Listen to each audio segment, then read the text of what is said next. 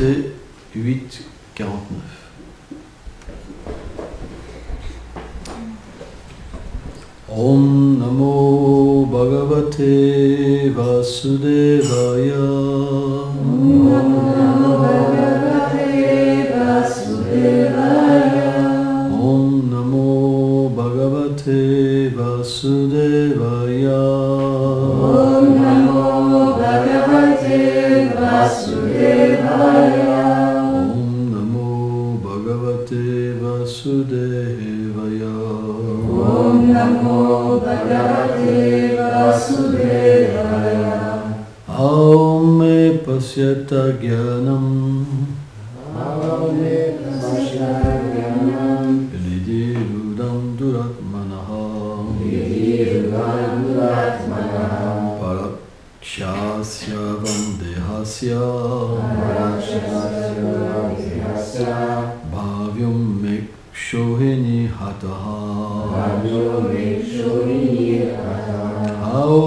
पास्यतज्ञानं हृदि रुदं दुरात्मनः पालख्यास्यवं देहास्य भाव्योमिक्षो हि निहतः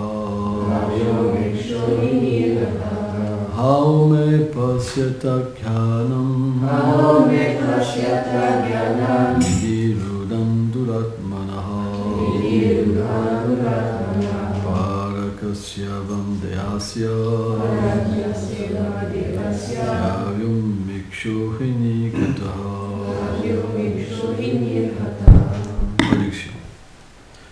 Oh, regarde Comme mon esprit est mauvais et profondément enraciné dans l'ignorance.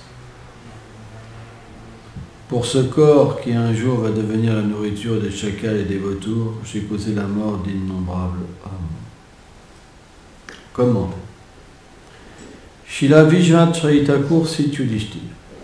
Pour ce corps qui finira comme nourriture pour les chiens et les chacals, j'ai tué beaucoup de bataillons Akshoini. Fin de la citation. Donc Vyasadev a décrit un Akshoini. Au meilleur des brahmanas, ceux qui comprennent le comptage savent qu'un Akshoini est composé de 21 870 chars et du même nombre d'éléphants, de 119 350 fantassins et de 165 610 chevaux. Omagana Ganam Jalam Shalakaya Shakshuram Litam Janata Ismai Shigulavanam Nama Om Vishnu Padaya Krishna Prestaya Buddhaya. Srimati Bhakti Vedanta Swamini Namine Namaste Sarasvati Deve Gulavani Pracharine Nilveshesha Sunyavadi Prachachada Shaktaya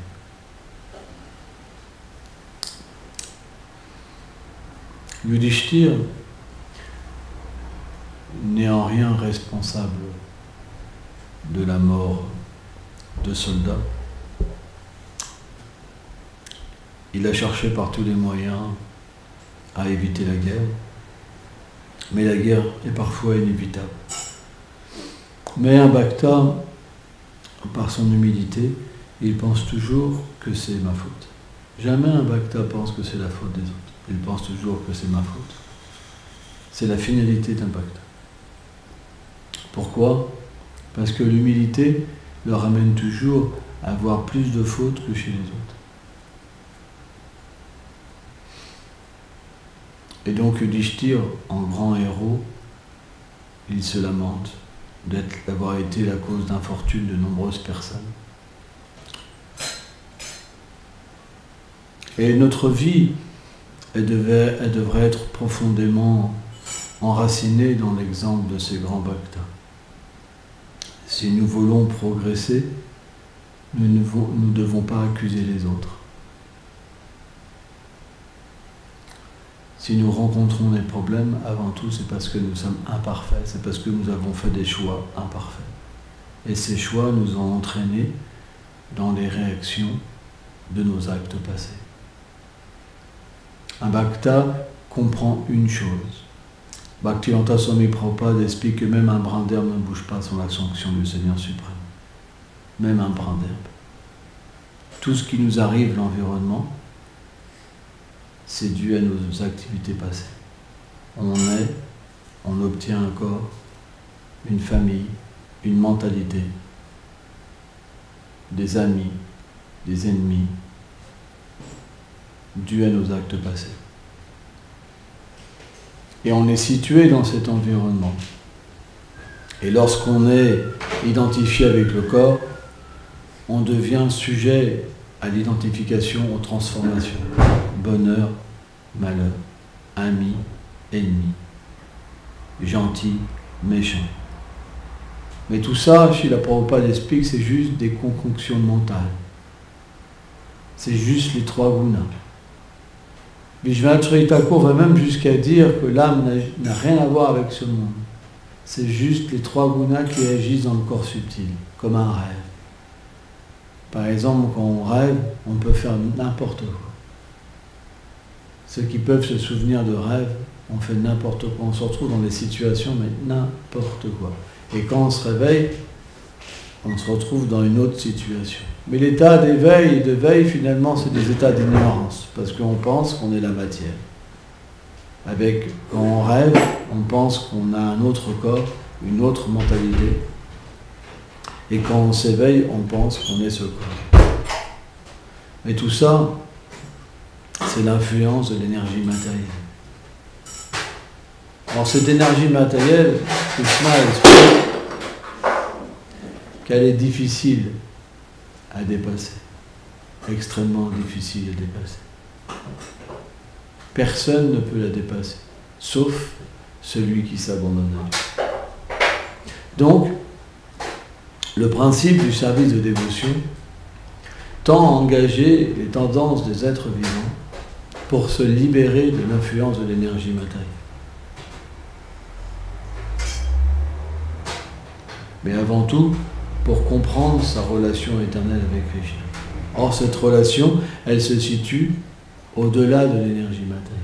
Srila Prabhupada explique que le plan Vasudev, c'est le plan où l'âme devient libérée de l'influence de l'énergie matérielle. Et il dit que c'est qu'à ce moment-là qu'on peut comprendre Dieu, pas avant. On ne peut pas comprendre Dieu dans la vertu, dans la passion et l'ignorance.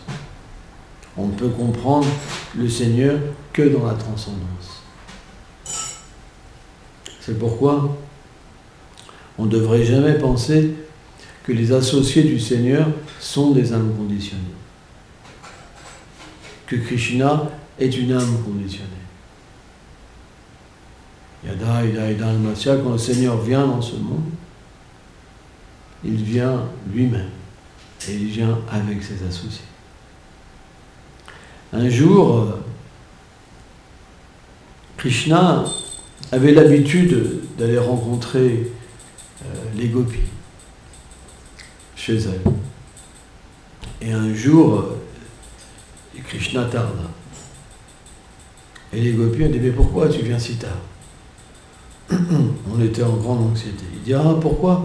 C'est parce que mon gourou Durvasamuni était là dans la forêt et j'étais obligé d'aller le voir par respect et l'adorer.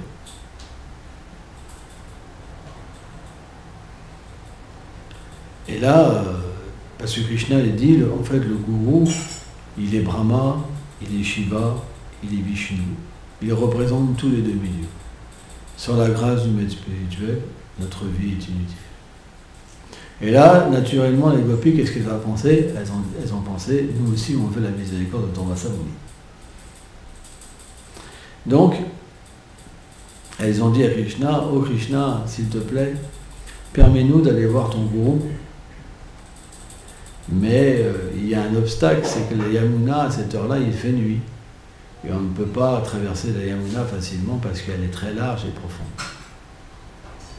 S'il te plaît, donne-nous un moyen pour traverser la Yamuna. Et Krishna lui a dit, c'est simple. Vous dites simplement à la Yamuna, que je suis éternellement un brahmachari. Et donc elles ont chargé 159 pots, repos de nourriture pour faire une offrande au gourou de Krishna, Durvasamuni. Et donc, elles sont arrivées proches de la Yamuna, elles ont offert leur respect à la Yamuna. Et elles ont récité le mantra que Krishna leur a donné. Alors je ne me rappelle plus exactement de la phrase, il y a une phrase particulière, il y a un mantra particulier, et où c'est expliqué que Krishna est un brahmachari strict. Et donc la Yamuna s'est ouverte et ils ont pu passer. Et donc ils ont trouvé euh, dans la forêt. Et ils ont offert un culte à Durvasamuni. Ils ont fait une circonvolution autour de lui, Et euh, ils ont offert la nourriture à Durvasamuni. Et Durvasamuni dit Moi je suis un ça. Je n'agis pas. Si vous voulez m'offrir la nourriture, il faut directement me nourrir avec vos mains. Et là, Durvasamuni donc, a ouvert sa bouche et ils ont mis les 159 pots de nourriture dans la bouche d'Urvasamuni. Et Durvasamuni a donc a absorbé la nourriture comme s'il avait faim. Été impressionnées. Et donc elles ont offert un culte, elles ont bien sûr demandé une bénédiction. Et elles ont dit, maintenant nous devons retourner euh, voir Krishna. S'il te plaît, Durvasamuni, permets-nous de traverser la Yamuna. Il dit d'accord. Alors vous allez simplement dire à la Yamuna que je me nourris que du sucre de l'herbe coucha et que jamais je prends de nourriture solide. Donc elles ont été un petit peu surprises. Elles, ont, elles sont retournées, elles ont rendu leurs hommages à la Yamuna et elles ont dit Vasamuni ne se nourrit que du sucre de coucha et jamais ne prend de nourriture solide. Et là, la Yamuna s'est ouverte et elles ont passé. Et donc elles ont rencontré Krishna, elles ont effectué la danse rasa avec Krishna pendant la nuit. Et c'est expliqué, différentes écritures comme la Moïta, Krishna expliquent que souvent après que Krishna ait dansé avec les gopis, Krishna masse les gopis, les gopis massent Krishna, ils peuvent boire différentes boissons, hein, se reposer. Et là, ils étaient tous intrigués, donc ils ont été voir Krishna. Krishna, on a quelque chose qui, nous dérange. On a été voir ton gourou, on l'a nourri avec 159 pots de nourriture, et pour repartir euh, et traverser la Yamuna, il nous a euh, donné un mantra comme quoi qu'il ne mangeait pas. Et même toi, pour qu'on puisse traverser la Yamuna, tu nous as dit qu'il fallait juste dire à la Yamuna, tu étais pour chérie. Alors que tu es entouré de, femmes.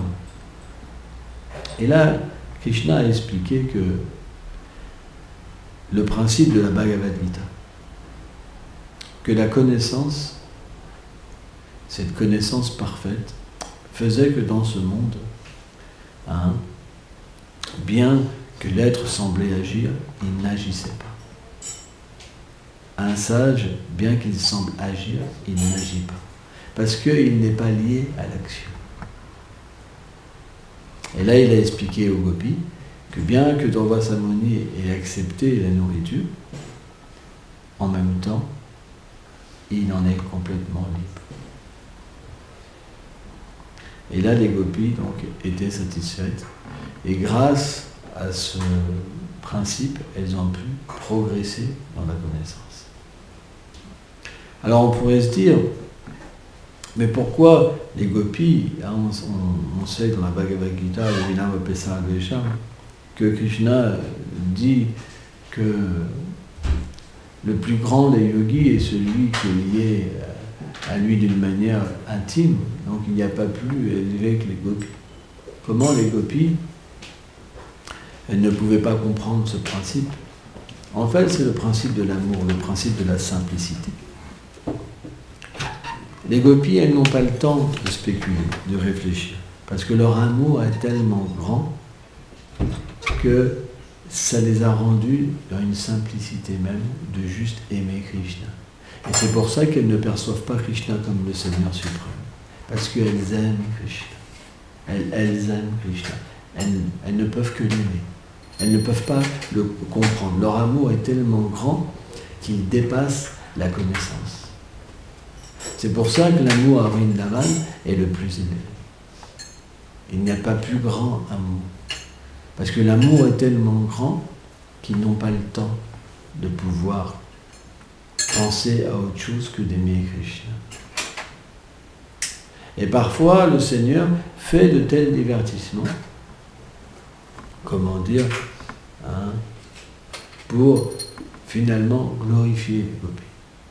Mais les êtres ordinaires peuvent penser que c'est des simples villageois, alors que c'est les plus grands dévots du Seigneur suprême. Et le Seigneur suprême les infortune que très rarement avec la connaissance. Mais quand il y a des petits divertissements comme ça, hein, c'est quelque chose pour agrémenter le lila, les divertissements. Mais jamais euh, les gopis sont plongés dans la connaissance du Seigneur suprême. Alors que parfois à Dwarka, c'est possible. Parfois Krishna manifeste quatre bras. Et euh, ils ont un peu connaissance des opulences, mais pas complètement. Donc le point, c'est que dans notre vie spirituelle, nous devons véritablement avoir cette propension en nous de pouvoir voir nos défauts. C'est très important. Voir nos défauts, ça ne veut pas dire se détruire. Ce n'est pas une lamentation matérielle. La lamentation matérielle, ça ne permet pas de progresser. La, la lamentation spirituelle permet de progresser. Quand on parle de défaut, on parle du désir d'atteindre Krishna. Le désir d'aimer Krishna. Mais dû à ma condition, c'est très difficile parce que je suis attaché à ce monde, à des chiens, à des chats, à des enfants, à des grands-parents, à ceci, cela. J'ai remplacé mon attachement par Krishna pour des choses qui vont disparaître avec moi, avec eux. Où est mon attachement dans ma vie passée? Où est mon attachement? Il y a deux vies, il y a trois vies, il y a quatre vies. Tout disparaîtra. On ne l'emporte même pas avec nous. Simplement, on réapparaît dans une condition. Et parce que l'âme est faite pour s'attacher à Krishna, mais comme on ne désire pas s'attacher à Krishna, on est obligé de reporter cet attachement sur des êtres qui sont inqualifiés et qui nous égarent. Donc, l'énergie matérielle est extrêmement puissante. C'est pour ça qu'on a besoin de la connaissance. Parce que cette connaissance, quand on l'approche avec humilité, en comprenant quelle est la vérité absolue, parce qu'elle émane du Seigneur suprême, elle nous permet de voir les choses dans leur réalité et de pouvoir communiquer avec les êtres à travers la vérité et ne pas être égaré. Parce que quand on est attaché, on ne peut plus s'abandonner. On prend l'exemple un jour de personnes qui voulaient se rendre à un mariage et c'était la nuit, il fallait traverser le Gange et le batelier avait oublié, d'enlever la corde. Donc le bateau était attaché. Mais comme il faisait nuit, il ne pouvait pas voir où ils étaient. Et quand le matin, en fait, s'est levé, il essayait d'avancer alors que le bateau était attaché. De la même manière, tant que nous serons attachés dans ce monde, nous ne pourrons pas progresser spirituellement. Parce que dès que nous allons progresser, nous allons avoir peur de perdre nos attachements. Et nous reviendrons toujours en arrière. Regardez Arjuna, par exemple, dans la Bhagavad Gita. Tant qu'il avait une conception erronée,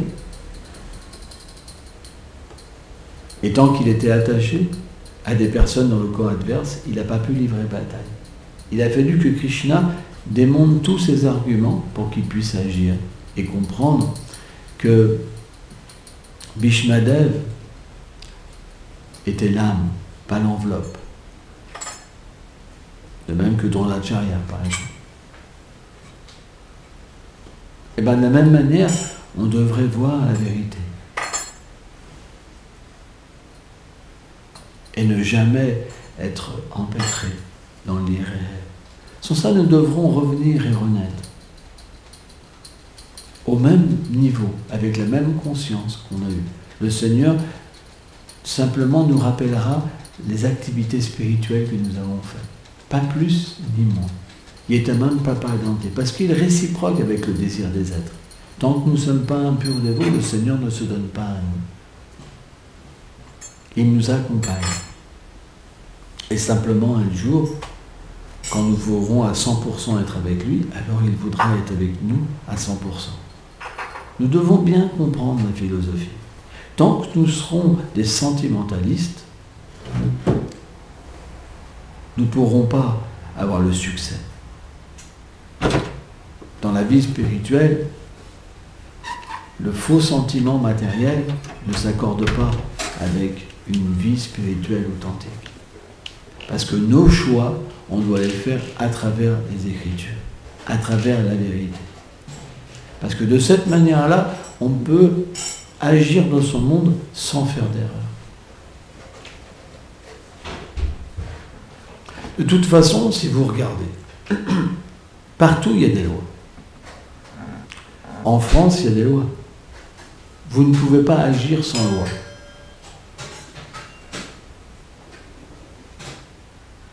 Parce que l'univers est régi par des lois. Qu'est-ce que c'est la loi du karma finalement? C'est quand vous agissez pas selon les lois, vous devez prendre une réaction de vos actes. Quand vous agissez bien, vous devez prendre une réaction pieuse. Et quand vous vous abandonnez à Krishna, vous ne prenez plus de réaction. Donc il y a un différent niveau d'action. Karma, arkarma et vikarma. Vikarma, c'est l'activité impie. Karma, karma, pardon, c'est l'activité pieuse. Et akarma, c'est l'activité qui nous libère. Donc, dans le cadre du service de dévotion, si nous agissons exclusivement pour le plaisir des Vaishnavas et de Krishna, chaque activité nous libère. Chaque activité nous libère.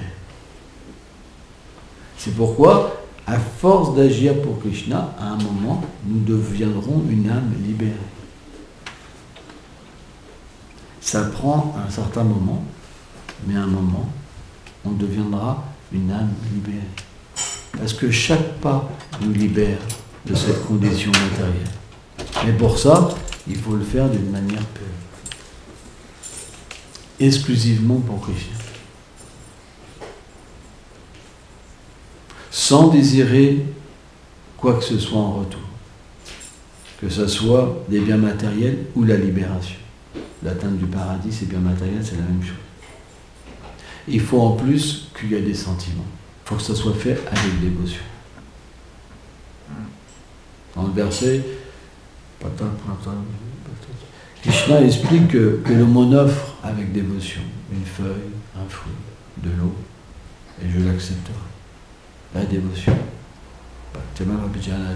Seule la dévotion, le Seigneur accepte. C'est le seul élément avec lequel nous pouvons relationner avec le Seigneur. C'est pourquoi nous devons comprendre la dévotion à travers un professeur.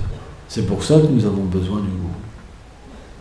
Parce qu'à l'état conditionné, nous ne pouvons rien comprendre de la dévotion. Pourquoi? Parce que l'âme, elle est d'une nature marginale. Elle ne vient pas du monde transcendantal.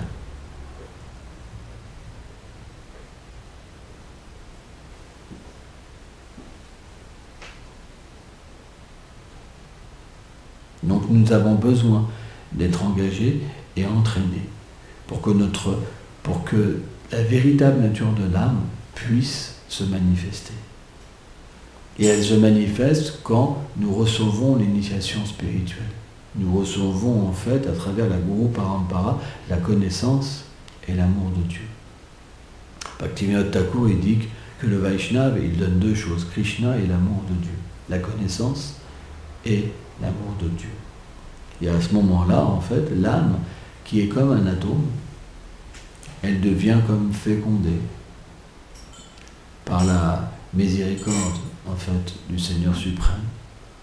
Et elle peut mettre à bas sa forme transcendantale et entrer dans les divertissements du Seigneur. Il est là notre but. Si on n'a pas compris ça, qu'est-ce qu'on fait là? Il y a plein de dévots euh, qui, qui pratiquent la dévotion parce qu'ils souffrent, parce qu'ils veulent moins souffrir. Ce n'est pas notre but. Notre but, c'est de retourner à Krishna. Notre but, c'est de se détacher complètement de ce monde matériel et de s'immerger dans la réalité. On n'a pas d'autre but.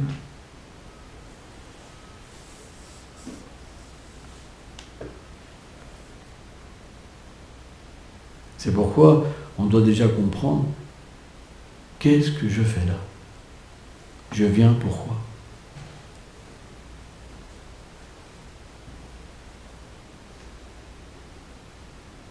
C'est une bonne méditation. Je suis là pourquoi? Et là, on peut comprendre la raison pour laquelle nous n'attendons, nous n'atteignons pas le succès. C'est que notre désir n'est pas pur. C'est pourquoi Krishna bah, dit bah, il faut des, parfois plusieurs vies, mais si notre désir est pur, une vie peut nous permettre d'atteindre la perfection. Et si déjà on n'a déjà pas envie, si on ne sait même pas de quoi on parle, c'est pour ça l'initiation spirituelle, c'est bien de se faire initier. On devrait se faire initier quand on comprend ce qu'on fait. Parce que l'initiation sans ça n'est pas complète. Si un gourou initie quelqu'un sans comprendre quel est le but,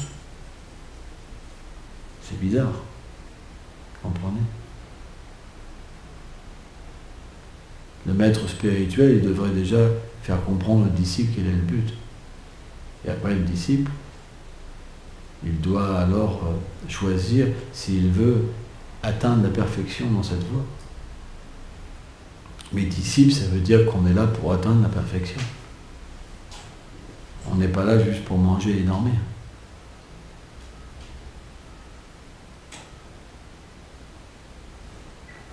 On est là pour progresser dans la vie spirituelle. Et aussi pour aider les autres.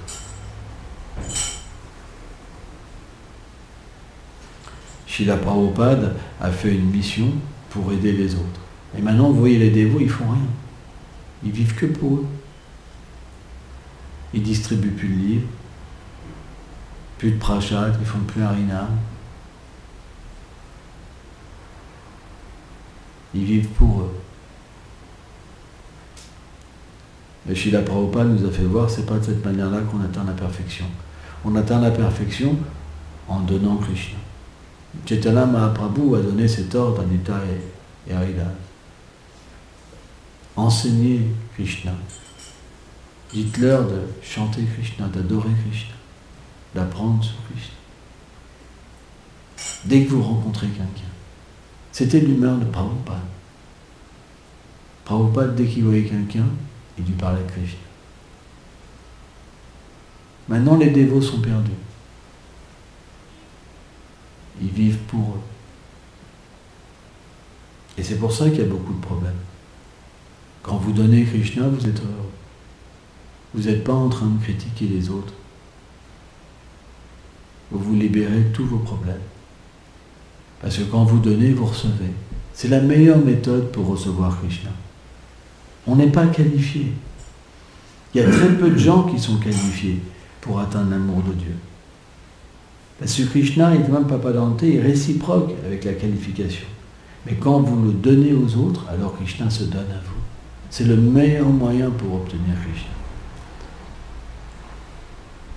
C'est pour ça que nous avons une mission. Et dans cette mission, on distribue des livres. Dans cette mission, on distribue le prachat. Dans cette mission, on distribue le Saint-Nom. On a ces trois activités que Shila Prabhupada aimait.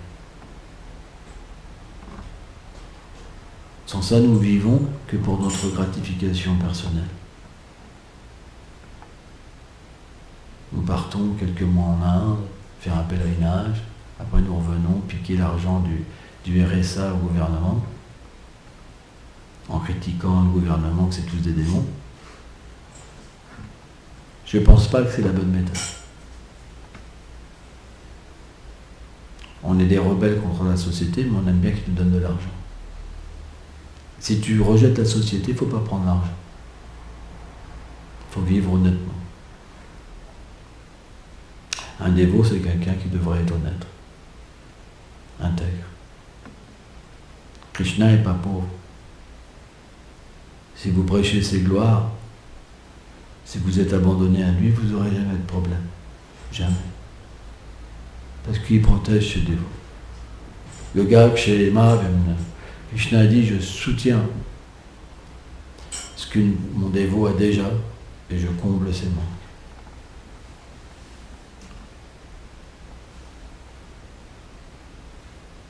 C'est une réalité. Nous devons avoir la foi. Et pas juste être des dévots qui font n'importe quoi derrière et puis devant, ils se pavanent comme des grands dévots. Alors que derrière, ils fument, ils boivent, ils font de la vie sexuelle illicite, ils mangent de la viande. On doit être honnête. On ne peut pas se la jouer grand dévot et puis faire n'importe quoi derrière. Ce n'est pas notre philosophie. Notre philosophie, ce n'est pas la dualité. Notre philosophie, c'est la simplicité. Ce que nous sommes à l'intérieur, nous devons l'être à l'extérieur. C'est rare, mais c'est ça notre but. La simplicité. Le jour où nous pourrons dire ce qu'on ce qu'on pense tout le temps la même chose, alors on pourra voir la vérité tout le temps. Tant qu'on cache les choses et qu'on parle, Krishna reste caché de nous. C'est pour ça que la simplicité, c'est le seul moyen pour atteindre le succès.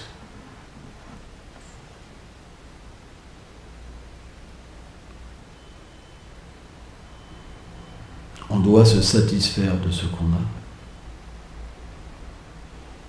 Jamais demander plus. Et simplement servir Krishna. C'est ça la vie simple.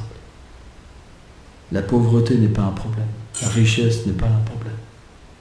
Le bonheur ne dépend pas de ces choses externes.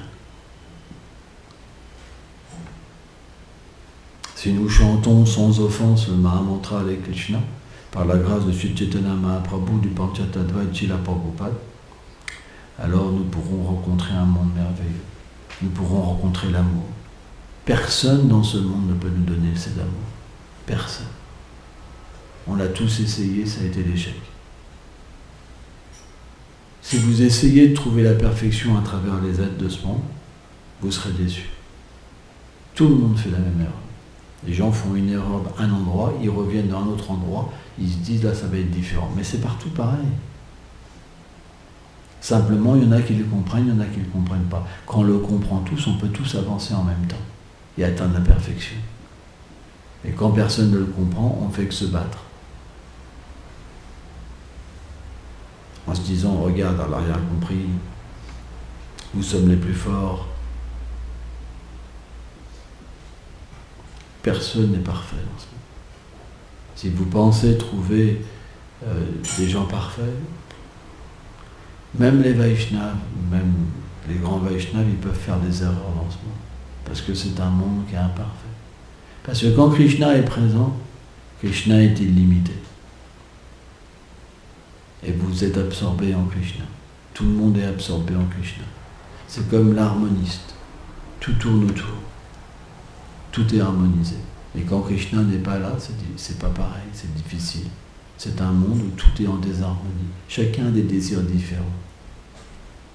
Et en plus, il y a plein de défauts. L'envie, la convoitise, l'illusion, la folie. C'est pour ça qu'on doit étudier cette philosophie. Parce que quand nous étudierons correctement, nous arrêterons d'être surpris. Oh là là, comment c'est possible? Ça sera fini. Vous direz c'est normal? C'est pas grave? On continue. Et là vous deviendrez fort. Et miséricordieux, Parce que vous pourrez tolérer, vous pourrez pardonner et apprendre aux autres le bon comportement au lieu de vous égarer et d'égarer les autres. C'est bien beau de parler de Radharani, des lilas, etc. Mais si vous agissez n'importe comment. C'est pourquoi notre philosophie, elle s'accompagne d'une attitude. Ça ne peut pas être dissocié. Le, Seigneur Kapiladev, il dit, celui qui m'adore dans le temple, mais qu'il ne me respecte pas dans le cœur de tous les êtres, je n'accepte pas son adoration. On a tous entendu ça mille fois, dix mille fois, mais nous continuons. Pourquoi? Le pouvoir. Nous cherchons le respect. Nous cherchons à attirer. Une fois que nous cherchons un tout petit peu ça, ça nous amène dans un gouffre. Notre but est la simplicité. Je veux devenir le serviteur du serviteur du serviteur. Je veux rien d'autre. Je veux la petitesse, pas la grandeur. Je veux pas le renom. Je veux pas la position. Je veux pas l'argent. Je veux simplement entrer dans le monde transcendantal et accomplir mon service. Et dans ce monde, aider les êtres qui souffrent.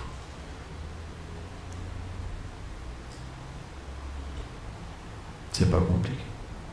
Merci beaucoup.